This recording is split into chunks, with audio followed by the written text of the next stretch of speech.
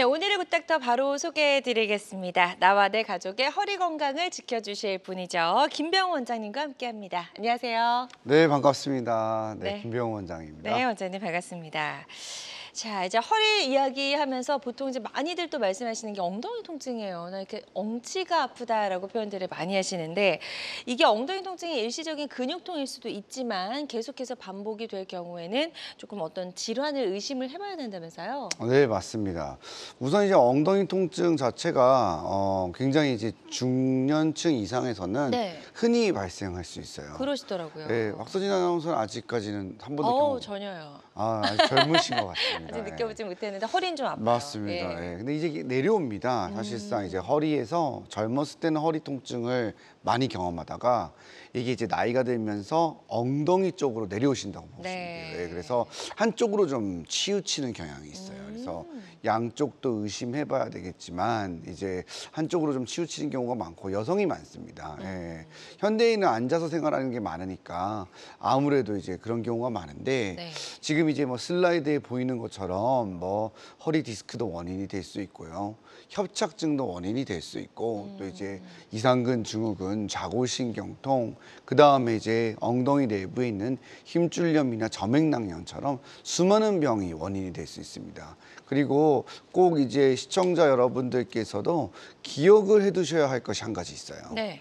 그게 뭐냐면 일단은 이제 우리가 무릎이든 어 이제 환자가 어디가 아프냐라고 물어보면 무릎이 아프거나 팔꿈치가 아프거나 허리 엉덩이 이런 식으로 이제 부위가 정해지잖아요. 근데 이제 그 부위 안에 구조물이 어 팔꿈치라든지 어깨라든지 뭐 허리라든지는 좀 단순해요. 네. 그 안에 들어있을 구조물은 정해져 있어요. 음. 근데 엉덩이는 복합적입니다. 어. 그래서 이제 여러 가지 영향을 받을 수 있는 거예요. 쉽게 말해서 허리에 병이 있어서 협착증이나 디스크 때문에도 아플 수 있지만 엉덩이 자체에 관절의 문제인 경우도 있을 수 있고요. 네. 그리고 힘줄이나 혹은 어, 이런 것들이 같이 병행되면서 인한 통증도 있고요. 다른 기타 등등의 여러 가지 원인이 함께 존재할 수 있습니다. 그래서 두 가지 원인이 세 가지 원인이 이런 식으로 있을 수 있다는 거예요. 네. 그래서 그 점을 꼭 기억을 해두시고 빈도적으로 보면은 어, 예상 외로 허리와 관련된 척추 질환이 많은 편입니다. 어, 그렇군요. 그래서 엉덩이 통증의 어떤 범인이 사실은 이제 허리에서 오는 뭐 협착이나 다른 척추 질환일 수 있다는 말씀이신 거네요. 그렇죠. 빈도적으로는 상당히 많고 음. 그리고 우리가 이제 통증의 지속성이라는 게 있거든요. 잠깐 하루 이틀 정도 아픈 통증은 사실상 좀 쉬고 나면 좋아지잖아요. 음. 근데 이제 지속적이거나 아니면은 일정 수준 이상으로 아픈 것들 네. 굉장히 힘들어요. 음. 그런 거인 경우에는 지금 말씀드렸듯이 척추 질환이 상당히 많다. 어. 예, 그 부분을 꼭 기억해 두시면 좋을 것 같습니다. 네, 좋습니다. 그 이유도 좀 궁금합니다. 왜 이렇게 허리 뭐 협착 문제인데 왜 엉치 쪽에 통증이 오는 거지? 라고 생각들 많이 하실 것 같아요. 네, 그 부분이 진짜 제일 많이 말씀하시는 내용이에요. 네. 그러니까 환자분들이 오셔서 예를 들어 가지고 자기는 이제 오른쪽 엉덩이가 너무 많이 아프신 거예요. 그래서 이제 주로 오신 분들이 이제 뭐 중년 여성분들이 계시는데 예를 들어 뭐 70세 여자 환자분이신데 뭐 운동도 잘 하시고 하는 데 계속 엉덩이가 아픈 거죠. 네. 그래서 뭔가 거슬리는 통증이 있다가 좀 좋아졌다가 음. 또 불편하니까 동네 정형외과 의원 등을 가셔서 네. 물리치료도 받고 음. 약도 먹었더니 좀 나아지는 거죠. 음. 그러면서 이제 뭐 이런 증상들이 생기는 경우가 많고 지금 슬라이드에 나오는 그런 이런 소개 내용이 많아요. 그래서 식당 일을 하시는데 오른쪽 통증이 생기고 자세 바꾸면서 아프고 점점 점점 예, 심화되는 거거든요. 네. 그러면서 이제 통증으로 생활에 지장을 받게 되면서 음. 검사를 했더니 이렇게 진단을 받게 되는 경우가 어. 상당히 많습니다. 근데 이러한 게 왜 생기느냐를 보려면은 그렇죠. 이제 그 척추의 구조를 좀볼 필요가 있어요. 음. 네. 그 부분을 좀 이제 잠- 설명을 조금 더 드릴 텐데 이게 이제 뭐 엉덩이와 관련된 것들의 연결선상에 있는 거는 신경 때문이라고 보시면 됩니다. 네. 그러니까 신경 뿔이라고 하는 거는 근육을 지배하게 되어 있어요. 음. 그래서 우리 몸에서 신경은 전선 역할을 하는 거라서 네. 이 신경이 어, 전선 역할을 해서 근육을 움직여 주는 거예요. 어. 그렇게 이해를 하시면 되는데 그 신경에 문제가 생기게 되면은 이게 어, 근육으로 가서 그 부분으로 증상이 나타나게 됩니다. 네. 그래서 예를 들어서 5번 신경 뿔이라고 하면은 대부분의 감각 분포를 하는 데가 엉치에서 뒤허벅지, 정강이까지 가게 되거든요. 그럼 이제 5번 신경 전체에 문제가 많이 생기게 되면 엉덩이를 벗어나서 정강이 발목까지 내려가게 돼요. 어. 그래서 굉장히 심화된 분들은 환자분들이 음, 예전에는 허리 아팠고 그다음에 엉덩이 아프다가 지금은 발목이 시리다고 하세요. 발목까지. 네. 그러면 발목 시리다고 하면은 발가락으로 가나요?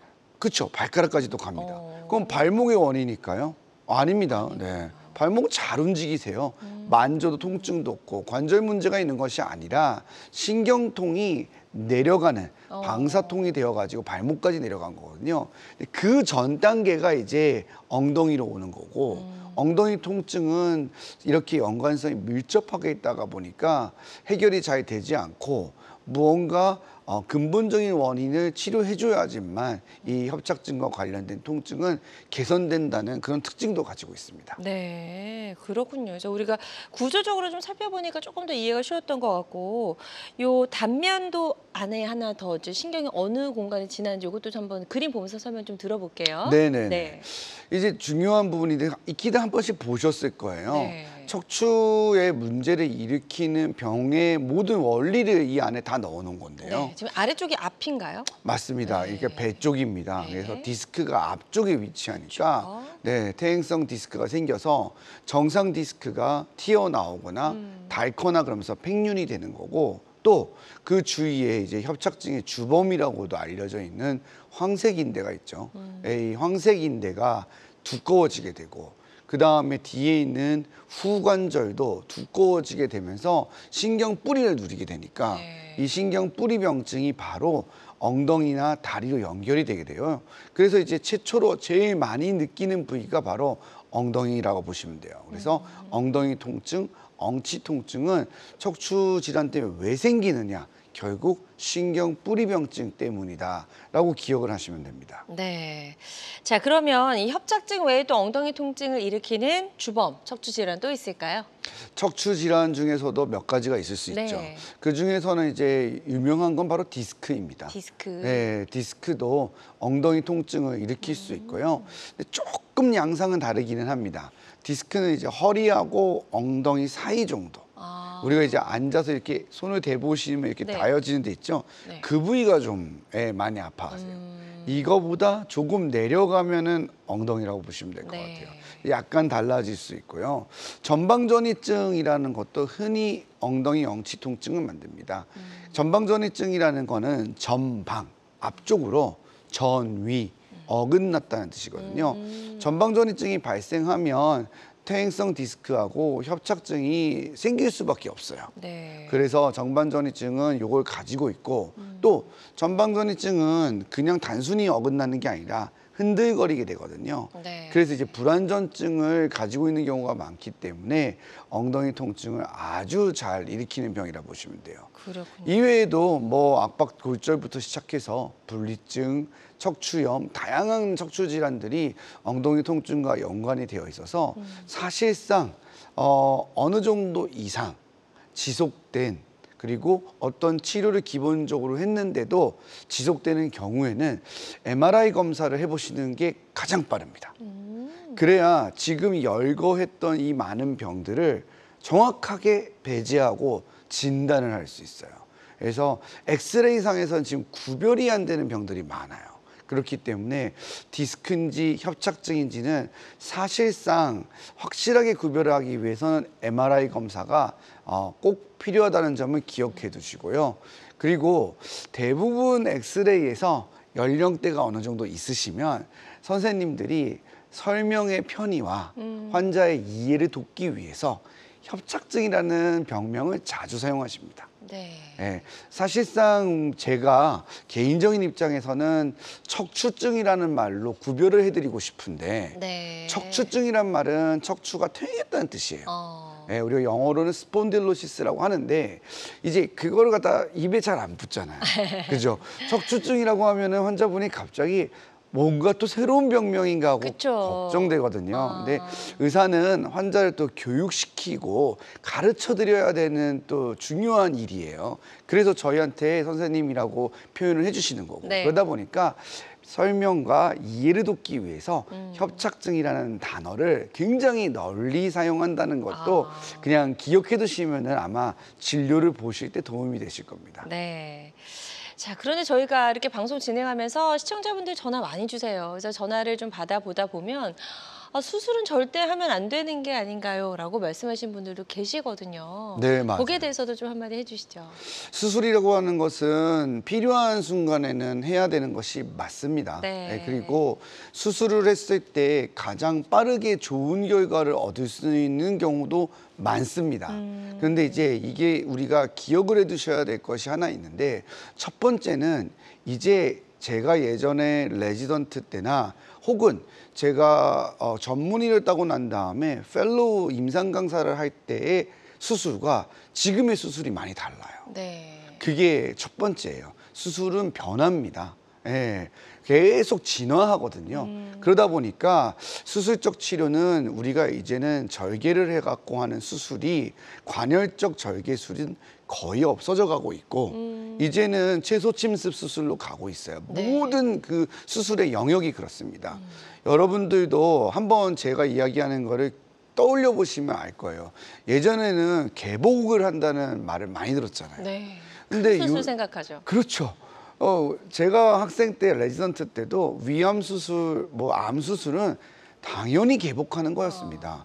개복을 하지 않는다는 건 있을 수 없었는데 지금 개복을 하는 경우 잘 없어요. 어. 그럼요. 어, 저희가 수술할 때 보면 대부분 복강경이라는 걸로 가능하고 지금은 로봇 등을 이용해서 구멍을 뚫어서 병변을 모두 제거하죠.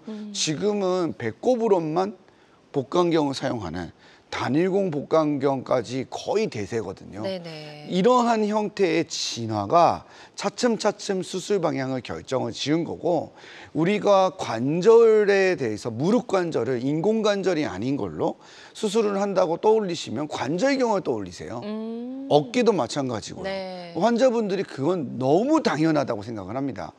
무릎은 인공관절이 아니고선 당연히 구멍을 뚫어서 관절경으로 뭐 씻어내고 그런 걸 한다는 것이 너무 자리를 잡았죠.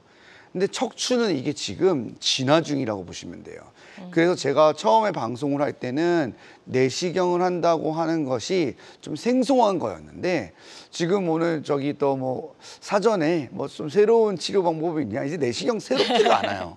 네. 제가 좀 여쭤봤어요. 네, 왜냐하면 이제는 거의 보편화돼 가고 이게 진화를 하고 있기 때문에 네. 이제는 하나의 메인 치료로서의 어떤 어, 자리를 차지하고 있어서 지금은 이제 채소 침습으로서라는 것을 기억해 두시면 좋을 것 같고 네. 그러한 의미에서 수술이 다양해지면서 환자분의 선택지도 넓어졌다 그런 것들을 기억해 두시면서 오늘 강의를 좀 보시면은 도움이 될 것 같습니다. 네. 아니, 환자 입장에서 너무 좋죠. 개복하지 않고도 정말 작은 그 구멍 하나만으로도 수술이 가능하다면 너무 좋은데 이제 어떻게 보면 척추 치료도 이제 그 방향으로 가고 있다는 말씀이시잖아요. 그래서 그 내시경 치료에 대해서도 좀 간단하게 단계별 치료법도 좀 설명을 들어볼게요. 네.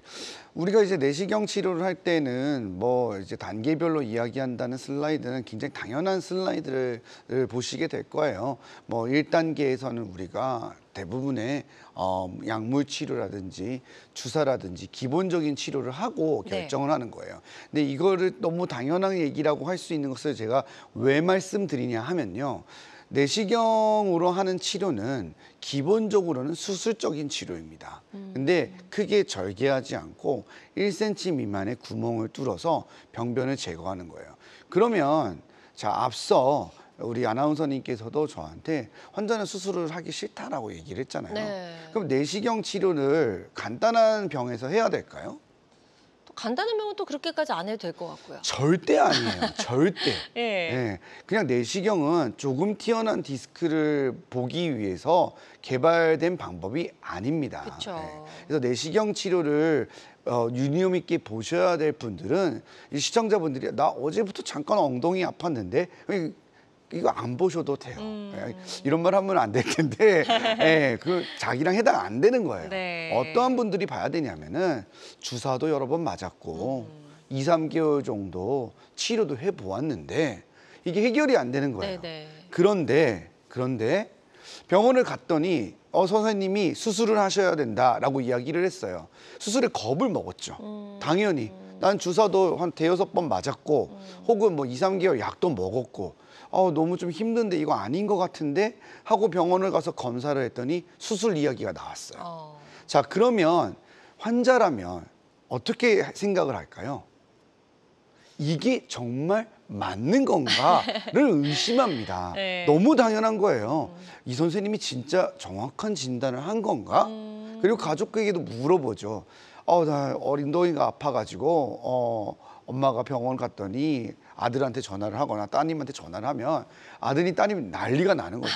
수술. 그 병원 어디예요? 라면서 야, 뭐 오자마자 뭐 노인네 수술부터 하라고 하네. 그러면서 이제 찾기 시작합니다. 아. 그래서 이제 유명한 병원을 또 검색도 하고 지인의 추천도 받아서 또 갑니다. 네. 가면 이제 선생님이 뭐라고 이야기를 하냐면은 시술을 하라고 합니다. 음. 그러면 이제 저 선생님은 수술을 하라고 했는데 이 선생님은 또 시술을 하라고 하니까 그럼 마음이 또 시술 쪽으로 기울 것 같아요. 시술 쪽으로 네. 기울죠. 그러면서 또 이제 환우의 검색도 해보고 아. 시술을 하는 것도 들어보고 비용도 어, 만만치 않구나 맞아요. 이런 이야기도 듣고 하면서 이제 뭐 시술은 해도 얼마 못 가서 또 재발한다는데 뭐 이런 얘기도 듣게 됩니다. 음. 그러면서 이제 환자 헷갈리는 거예요. 야 이게 맞는 건가?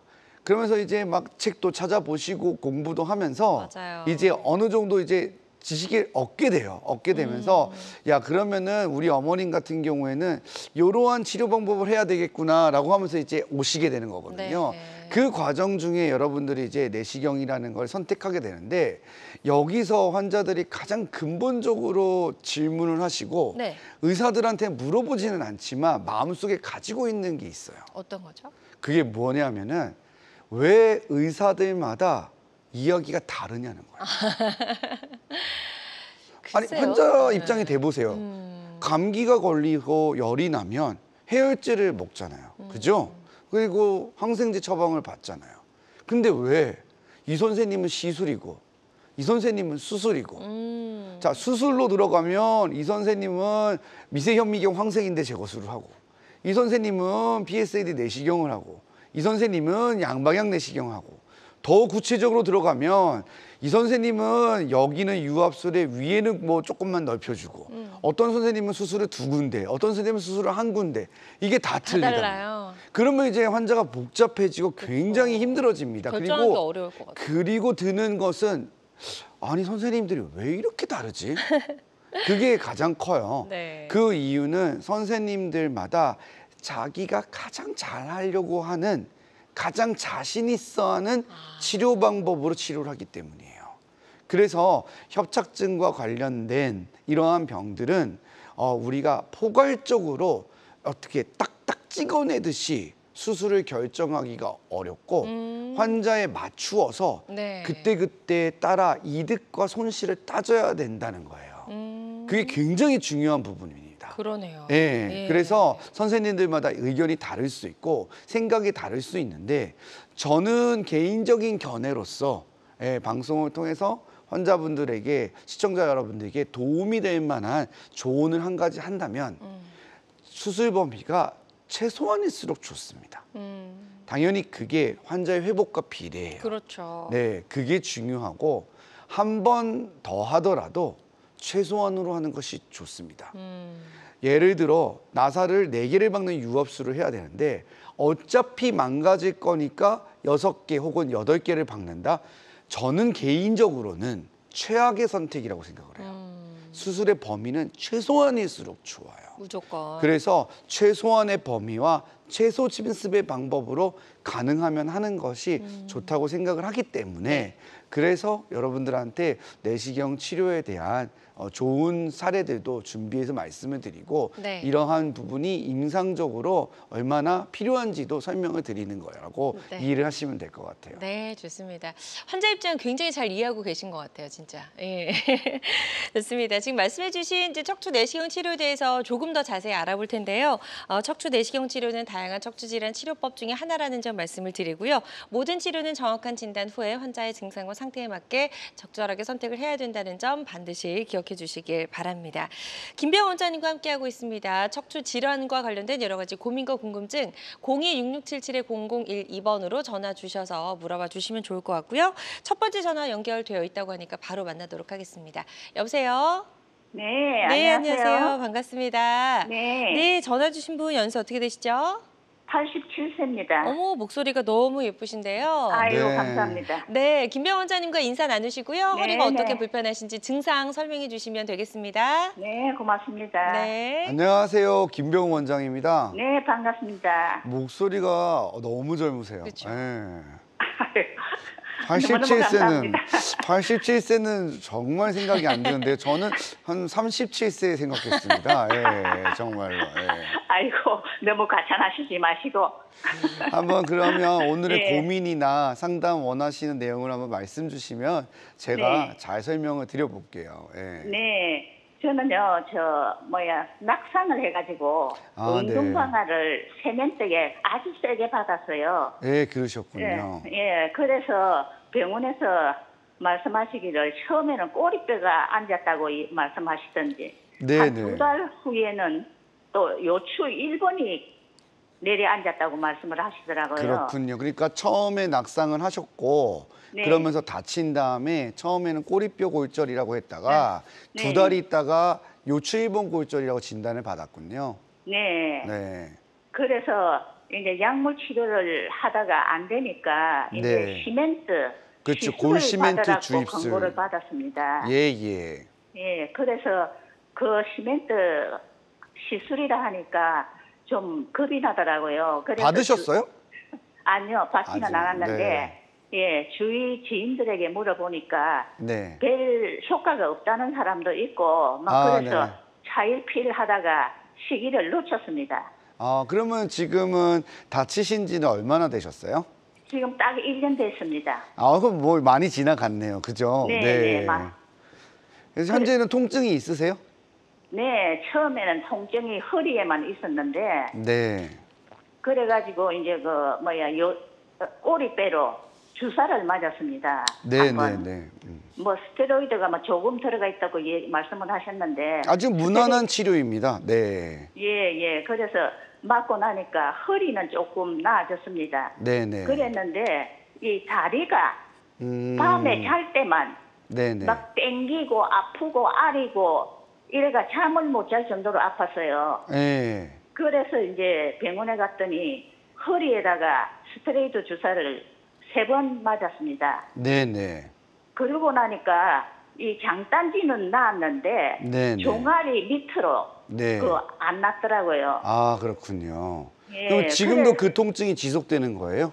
예 예 아직도 통증이 지속이 됩니다. 어느 쪽이 한쪽만 아픕니까? 양쪽이? 두 쪽 다, 두쪽 다 막 다. 아리고 아, 아파요. 아리고 아프고. 네, 네. 네. 그, 어, 네, 그러는데, 어, 일주일 전부터, 네. 음, 발목 밑으로 열이 많이 나거든요. 네. 예, 그래서 지금도 열이 화끈화끈하고 나는데, 음흠. 다리는 그대로 계속 밤에만. 계속 아프고 밤에만. 네, 밤에만 걸어 다니시는. 건 잘 걸어 다니세요? 네, 걷는 거는 걷는데 안만 해도 몸이 무겁죠. 아, 그렇습니까? 네, 그러면 네. 지금은 허리 엉덩이 이런 데보다는 종아리가 많이 아프신 거네요. 네, 그렇죠. 그 발목 그리고 밑하고. 발목 열 나는 밑하고 거하고. 열 예. 나는 것하고 잠잘 네. 때 이게 거슬리는 거고요. 예, 예. 딱 그럼- 잠잘 때만 그래요. 낮에는 조금 괜찮은데. 괜찮고 네, 밤에만 MRI 검사를 하셨나요? 최근에? 네? 최근에 MRI 검사를 해봤나요? 최근에는 안 했습니다. 최근에는 안 했고 골절 진단될 때만 하셨고 네, 네. 네 그러면 주사 치료를 지금 한 몇 차례 받았는데 그래도 차도는 있는 거네요 그죠? 그렇죠. 근데 해결 안 되는 부분이 몇 가지 있는 거고 네. 현재는 이제 그 상태에서 마음이 답답하셔서 전화를 주신 거고 그죠? 네. 알겠습니다. 제가 한 두 가지 포인트로 나눠서 설명을 드릴게요. 네. 첫 번째는 이제 낙상을 하셨고 골절이 일어난 부분이에요. 처음에는 꼬리뼈 골절이 진단이 됐고 그 다음에 두 달 정도 있다가 일번 압박 골절이 생겼다고 하는데 충분히 있을 수 있는 일입니다. 이제 그 이유는 이제 골절이라는 것도 우리가 처음에 일번 뼈에 살짝 데미지를 받았다가 이게 이제 약간 어, 안정기가 살짝 와요. 우리는 이거 잠복기라고 하는데 그러면서 이제 깨진 뼈 주위가 으스러지면서 지연성 붕괴가 생기면 골절이 발생합니다. 그렇게 됐을 때 조금 심하게 발생하거나 영양동맥 등의 폐쇄가 일어나게 되면은 엑스레이 상에서도 검은 색깔 음영이 보이게 되는데 그러한 경우에는 쿤메시병이라고 하거나 골괴사라고 표현하기도 해요. 하지만 뭐 병명 자체가 어려워지면 환자분들의 이해나 이런 것들이 어려워질 수 있어서 통칭 그냥 악박골절이라고 하는 경향이 있습니다. 그래서 일번 뼈에 대해서는 이제 골절이 그렇게 발생을 한 걸로 추정이 돼요. 근데 이제 요거를 척추체 성형수를 했냐 안 했냐 요거에 대해서 이제 뭐 다 얘기를 하자면 통증을 가지고 결정하시면 돼요. 이걸 안 하면 큰일 나고 뭐 이런 것은 절대 아닌데 80세가 넘었을 때는 조기 시행을 하고 80세가 넘지 않으면 조기 시행하지 않아요. 왜냐하면 나이가 많으시면 빨리 시행을 하는 것이 이득이 더 크다고 판단하기 때문이다. 혹은 신부전이나 뇌과적 지병이 커서 눕게 하는 것이 어려울 때는 조기 시행을 해요. 근데 이제 지금은 말씀하시는 걸로 들어봤을 때는 일단은 그 시기는 지나 갔고 1년이기 때문에 아무튼 그 부위에 대해서는 이제 안정기가 왔을 겁니다. 근데 이제 방사통이 발생을 한 게 문제인데요. 척추가 이제 악박골절이라는 거를 이제 이야기를 들으셨는데 분명히 디스크와 협착증도 있을 거예요. 87세이기 때문에 정상적인 노화의 과정에서도 어느 정도의 협착은 분명히 있을 수 있거든요. 그래서 그게 이제 골절로 인해 가지고 어 우리 척추의 이 무게 중심이 약간 변해요. 그러면서 통증이 발생하는 경우가 네. 있을 수 있고 또 하나는 악박골절이 된 부위가 더 붕괴하거나 혹은 골절로 인해서 디스크도 함께 손상이 와서 문제를 일으켜 가지고 통증을 발생시킬 수 있어요. 근데 지금 스테로이드 주사를 여러 번 맞았다고 했는데 굉장히 표준적인 치료를 하신 거예요. 네. 그렇게 해서 염증을 줄여갖고 통증이 없어졌다면 오늘 전화를 안 하실 텐데 그쵸. 지금은 신경병증이 남아서 남아서 지금 괴롭기 때문에 혹시 이걸 없앨 수 있는 방법이 있을까 하고 전화를 주신 거거든요. 네. 그래서 MRI 검사를 해보는 것이 지금은 가장 중요합니다. 네. 왜냐하면 예전에 찍었던 거랑 비교를 해야 돼요. 그래서 변화가 있는 것을 보고 그 의미 있는 변화가 그냥 지켜보면 나을 수 있는 건지 혹은 주사를 다른 곳에 지금은 증상을 보고 여기일 거다라고 생각해서 치료를 했는데 네. 여기가 확실하구나 하고 주사를 놓아야 될지 요거를 결정해야 되고요.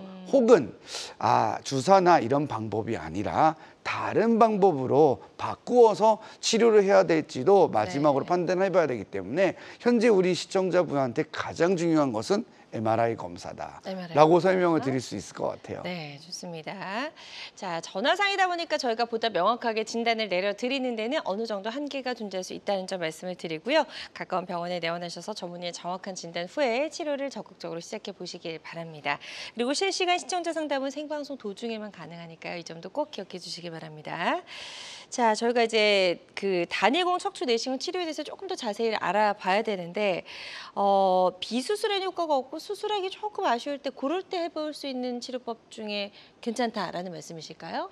단일공 척추 내시경 네, 네. PSAD의 적응증에 대해서 네, 네, 네. 여쭤보시는 건데 아까 처음에 말씀드렸던 것처럼 이 단계별 치료에서 뭐 갑자기 할 수 있는 그런 어, 치료법은 아니고 네, 네, 이제 네. 우리가 어, 내시경을 고려해야 될 단- 대상은 어, 지금 우리 어머님 사례 방금 음. 전처럼 주사를 여러 번 맞으셨잖아요. 예, 근데 효과가 있기는 있으나 남아 있는 증상이 좀 있죠. 아, 그럴 때. 예, 그럴 때 네네. MRI 검사를 통해서 아 이 부분이 막혀 있어서 이 부분만 감압해 주면 좋겠다. 그럴 때 해볼 수 있는 방법일 수 있고 네. 혹은 큰 수술을 앞두고 있거나 아니면은 선생님들마다 여러 가지 방법으로 차이가 있어서 그쵸. 예, 이분은 이렇게 얘기하고 저분은 저렇게 의견 차이가 분명히 협착증이 음. 있거든요. 그때 이제 어, 내시경으로 감압을 할 수 있는 그런 이제 의사 선생님을 만나게 되면은 네. 내가 어, 관열적 절개술이나 유합 대신에 이 수술을 통해 가지고. 예, 통증을 조절해. 볼 수 있는 방법이 될 수 있고 네. 마지막은 일반적으로 우리가 말하는 시술들 있지 않습니까? 이런 것들로 효과를 못 본 경우 음. 그러면 이제 결국엔 비수술적 치료로는 실패한 거거든요. 네. 그때 나는 최소적인 방법으로 해볼 수 있을 때 선택할 수 있는 것이 어, 내시경 감압술이라고 네. 보시면 될 것 같습니다. 네. 자, 그러면 단일공 척추 내시경 치료가 어떤 치료인지 그림 보면서 짧게 한번 소개 듣고 넘어가도록 하겠습니다. 자, PSLD 단일공 척추 내시경 치료에 대해서 어떤 치료법인지 간단하게 좀 소개를 좀 들어볼게요. 알겠습니다. 네. 제가 말이 많아져서 간단하게라는 말이 많이 나오는데 정말 간단하게 설명드릴게요. 네네. 내시경, 바로 그냥 내시경이 우리가 위내시경, 대장내시경처럼 그런 내시경 장비를 1cm 정도의 피부 절개만 한 다음에 그 안으로 직접 들어가서 음. 네. 예, 병변을 제거하는 거예요. 음. 그게 황색인되면 황색인대를 제거하고 디스크면 디스크를 제거하고 아, 네. 추간공을 넓혀야 되면 추간공 확장술을 하고 그러니까 아. 내시경을 이용해서 뭐든 간에 병변을. 다 제거하는 게 네네. 가능하다는 것을 그렇게 기억해 두시면 됩니다. 네. 좋습니다. 아무래도 크게 절개가 없으니까 흉터 걱정 크게 하지 않아도 될 것 같다는 생각이 들어요. 네. 아무래도 이제 절개창이 작다 보니까 이후에는 없어지고 음. 사실상 뭐 등은 잘 보이지가 않는 부위라서 네. 흉터에 대해서는 그렇게 걱정을 하시는 경우는 별로 없는데 네, 네. 제가 이제 이 사진을 보여드릴 때 부연 설명으로 드리는 가장 중요한 것은 척추는 이제 예전에는 제가 어, 학생 때나 레지던트 때만 해도 그냥 뒤를 절개하는 거가 의사들이 아무런 어, 이런 표현은 정말 죄송한데 죄책감이 없었어요. 음, 당연히 그- 그래야 되는 줄 당연히 알았죠. 그래야 되는 거고 그 기능을 인정 안 했어요. 어. 하지만 지금은 기초 연구가 다 돼서 척추에서 가장 중요한 것 중 하나가 기립근이라는 걸 알았어요. 음. 근데 내시경은 제가 계속 얘기했죠. 피부만 절개한다고. 예, PSAD라고 하는 이 어려운 용어를 위해 쓰는 이유가 네네. PSAD의 P자가 바로 경피적이라는 음. 펄큐테니어스의 약자예요. 경피적이란 말은 뭐냐면 피부만 절개했다는 뜻이에요. 네. 그러면 근육과 인대는 다 그대로 보존했다는 거죠? 그렇죠. 그냥 뚫고 들어가는 거예요. 음. 왜냐하면 척추의 근육은 이렇게 어, 세워져 있기 때문에 벌리고 들어갈 수가 있어서 어. 예, 손상 없이 들어가는 거고요. 근육을 먹여 살리는 건 영양동맥인데 어. 아무리 절개를 작게 해도 절개를 아무리 작게 해도 견인기를 넣어서 영양동맥을 손상시키면 음. 기립근은 사- 손상이 올 수밖에 없어요. 근데 이 PSAD 같은 내시경은 경피적이기 때문에 근육의 손상을 받지 않고 영양동맥의 손상도 받지 않기 때문에 그대로 살릴 수 있다는 것이 가장 큰 장점인 거예요. 그래서 이. 절개창이 작을수록 네. 합병증과 회복도 당연히 거기에 맞추어 간다는 것을 네네네. 기억하시면 좋을 것 같습니다. 네, 좋습니다. PSLD 단일공 척추 내시경 치료에 대해서 간단하게 좀 설명해 주셨고요. 다양한 척추 질환 치료법 중에 하나라는 점, 그리고 모든 치료는 정확한 진단 후에 환자의 증상과 상태에 맞게 선택을 해야 된다는 점 다시 한번 말씀을 드립니다. 여러분은 지금 우리 가족 건강 지킴이 굿닥터와 함께하는 건강 매거진 함께하고 계십니다. 알쏭달쏭 건강 상식 고민하지 마세요. 건강 매거진 굿닥터가 일대일로 상담해 드립니다. 02-6677-0012번으로 문의하시면 되는데요. 생방송이 진행되는 동안에만 굿닥터와 상담을 도와드리니까요. 02-6677-0012번으로 지금 바로 전화주세요. 유튜브에서 실시간 방송 시청과 다시 보기 시청이 가능합니다. 유튜브에서 건강의 환경을 검색하시면 되는데요. 알짜 건강정보 본방송도 아쉽게 놓친 다시 보기 방송도 이제 유튜브에서 즐겨보세요. 유튜브 검색창 건강엔 환경입니다.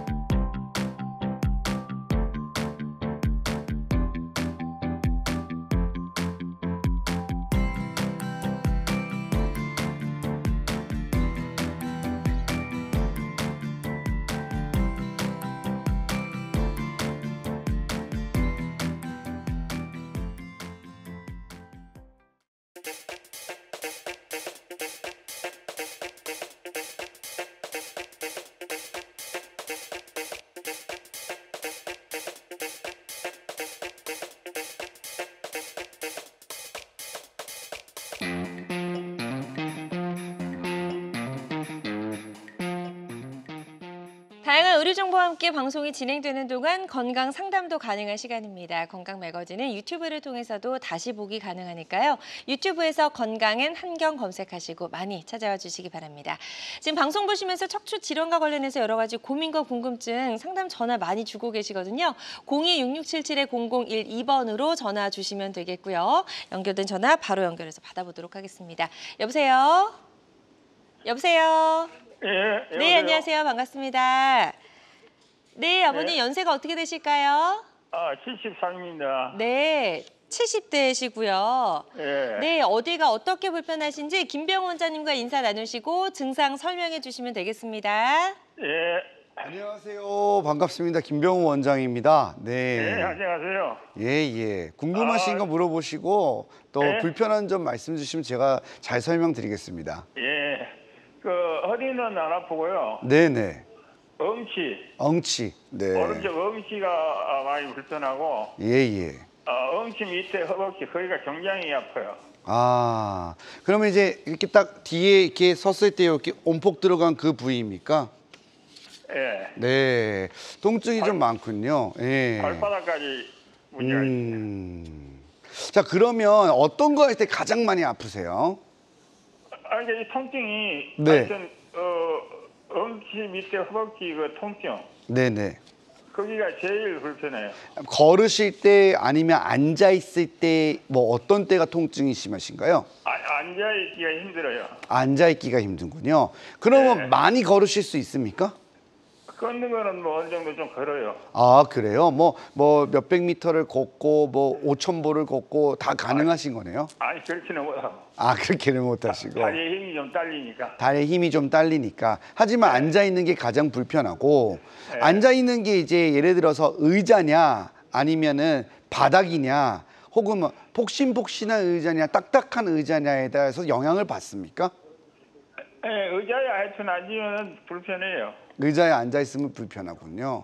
양반다리라거나 다리를 꼬으실 때는 어떠세요? 아 그, 런 거는 안 하죠. 아 그런 건 잘 원래 안 하시고 예. 치료는 어떤 걸 받으셨어요 지금까지? 양방향 내시경이라고 네네. 허리에다 뭐 수술을 했어요. 아 이미 치료를 받으셨군요. 예. 예, 작년에. 네네. 구멍을 두 개 뚫어서 이제 네. 병변을 제거하는 수술 방법 중에 하나인데 하시 그러면은 그 수술을 이 오른쪽 엉덩이 통증 때문에 받으셨던 거예요? 예, 그랬는데 효과가 없나요? 전혀 효과가 못 봤어요. 아 전혀 효과를 못 봤어요. 네. 그러면은 그 수술을 받은 이후에 좋아진 것이 한 개도 없나요? 예, 전혀 없어요. 전혀 없어요. 그 여전히 똑같이 불편한 거고요. 예, 예. 음, 좋습니다. 굉장히 흔히 오시는 사례고 자주 만나는 환자분들이세요. 그 타병원에서 이 협착증이 있어서 어떤 시술이나 수술을 받으셨고 이게 해결이 안 된 거거든요. 제가 뭘 할 때 가장 아프냐라는 질문을 굉장히 많이 드렸어요. 근데 이제 걷는 것이 특별하게 문제가 없고 난 앉아 있을 때만 통증이 있다. 그러면 이 골반에서 생기는 병변일 수도 있습니다. 그래서 우리가 이제 앉을 때 닿는 뼈가 좌골이에요. 환자분들이 저보고 좌골이 왼쪽 엉덩이냐 그러시는데 그게 아니라 어, 앉을 때 좌. 닿는 네네네. 뼈거든요. 네. 그 좌골 주위로 연세가 드시면서부터 힘줄염이나 혹은 이 점액낭염이나 이런 것들이 굉장히 많이 생깁니다. 그리고 그 뒤편으로 좌골신경도 지나가기 때문에 이 자극을 많이 받게 되면은 상당히 이 통증을 느낄 수 있어요. 이 협착증하고도 연관성이 있습니다. 왜냐하면 협착증이 있는 환자들이 결국에는 근육도 약하게 되고 근육성 좌골신경통을 굉장히 잘 동반하거든요. 근데 이제 그 이후에도 해결이 잘 안 됐기 때문에 그 부분에 대한 치료를 좀 해볼 수가 있어요. 그 부분에 대한 치료는 의외로 굉장히 단순합니다.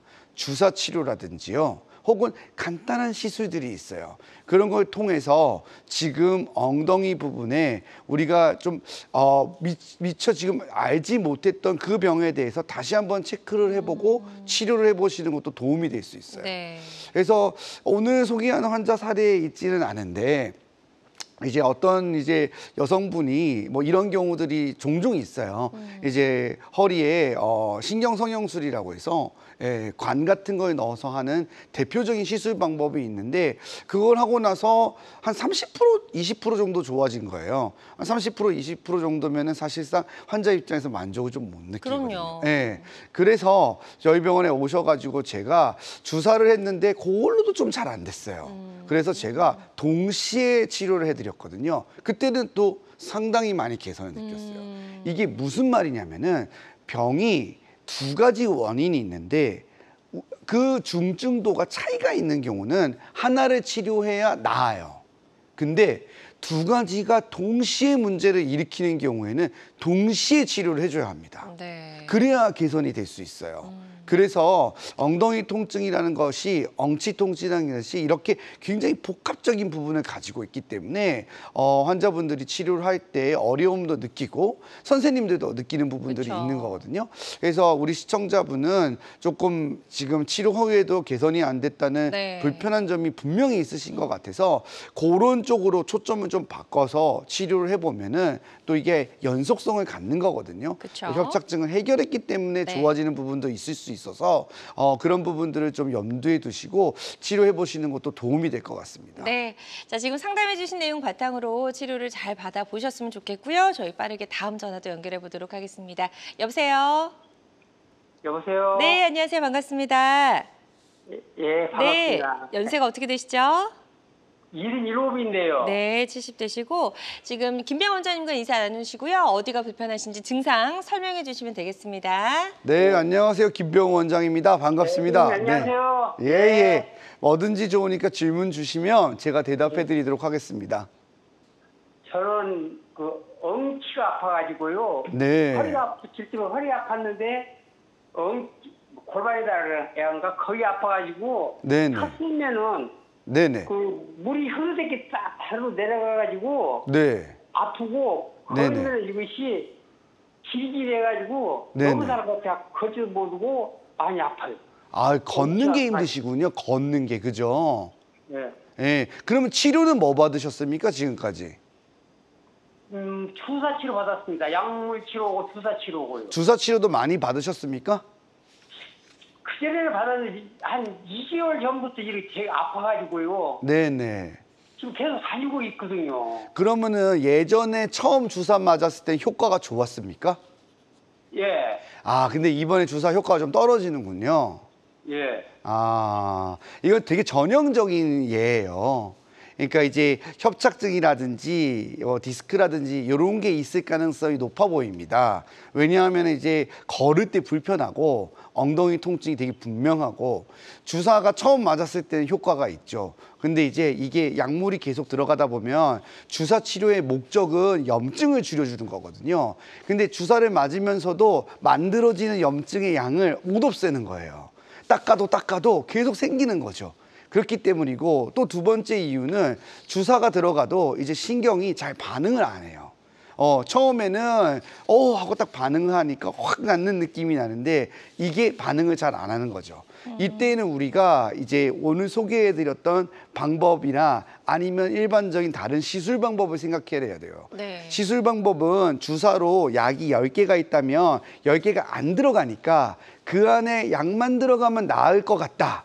약만 들어가면 해결이 될 것 같다 그러면은 비수술적인 시술 방법을 생각해야 되고 MRI나 환자의 상태를 봤더니 아 이건 안 될 것 같아요. 그러면 오늘 설명드렸던 내시경적 치료로 깎아서 막고 있는 아니면 박혀 있는 가시 같은 것을 제거해 주면 환자한테 도움이 된다면 그런 치료 방법을 선택해 볼 수 있을 것 같아요. 네. 그래서 지금은 증상이 전형적이기 때문에 어, 현재 상태에 따라서 맞추어서 잘 치료하시면 불편하신 부분도 개선이 될 가능성이 저는 충분히 있다고 생각을 합니다. 네. 좋습니다. 그래서 PSLD 단일군 척추 내시경 치료가 모든 분들에게 답일 수는 없겠지만 분명 또 적용해 보면 좋을 만한 그런 분들이 계시거든요. 끝으로 그런 어떤 분들이 또 받으면 좀 효과를 더 볼 수 있을지 간단하게 좀 정리해 주실까요? 어, 어떤 분들이 효과가 있다는 얘기는 뭐 안 하겠고요. 네. 네. 어떠한 경우에는 안 된다는 얘기를 좀 드리고 싶어요. 아? 왜냐하면 우리가 이 전화상이나 방송 매체를 통해서 오시면 가장 큰 환자분들이 갖고 제가 얼마나 많은 방송과 매체를 통해서 만나 겠습니까? 네. 이거로 난 낫고 싶다가 있어요. 음. 그거를 너무 염두에 두시면 안 돼요. 그래서 PSAD의 범위가 굉장히 높고 내시경으로 많은 부분의 협착증과 디스크를 치료할 수 있는 거는 사실이지만 네. 얘기했던 것처럼 안쪽과 바깥 쪽이 완전히 막혔거나 음. 아니면은 분리증과 같이 흔들리거나 끊어진 병이라든지 이런 건 치료가 어려울 수 있습니다. 그쵸. 그리고. 어 뭐 재수술 제가 뭐 세 번째까지도 수술도 해보고 하는데 다른 수- 다른 병원에서 수술을 하신 분을 네네. 근데 이제 재수술이나 여러 번 수술을 했을 때에는 경우에 따라서는 되는 경우도 있지만 안 되는 경우도 있을 아, 수 있어요. 그래요? 그렇기 때문에 네. 이게 아 저 원장님 얘기하는 거 들어보니까 다 고치겠구나. 물론 많은 부분을 고칠 수 있는 것은 사실이지만 안 되는 경우도 예. 있고 또 우리가 어, 양쪽이 아프거나 그러면은 유압술이 훨씬 더 우선시되고 좋은 경우도 있을 수 있습니다. 그렇기 때문에 의사들은 자기가 가장 잘하는 방법으로 환자분을 치료해 주려고 노력한다는 사람이라는 걸 기억해 두시고 네. 모든 치료 방법에는 장단점이 있다는 것도 꼭 기억해 두시면 좋을 것 같습니다. 네, 좋습니다. 오늘 다양한 척추질환 치료법 살펴봤습니다. 모든 치료법에는 부작용이 따를 수 있고 개인마다 치료 효과가 다르다는 점, 또 전문의와 상담을 통해서 적절한 치료를 받는 것이 가장 좋은 선택이라는 점 꼭 기억해 주시기 바랍니다. 지금까지 김병 원장님과 함께했습니다. 오늘 말씀 고맙습니다. 네, 건강 매거진 외도 굿닥도 함께 하셨는데요. 어, 실시간 시청자 상담은 생방송 도중에만 가능합니다. 이 점 꼭 기억해 주시고요. 남은 방- 남은 주말도 건강하고 행복하게 보내시기 바랍니다. 고맙습니다.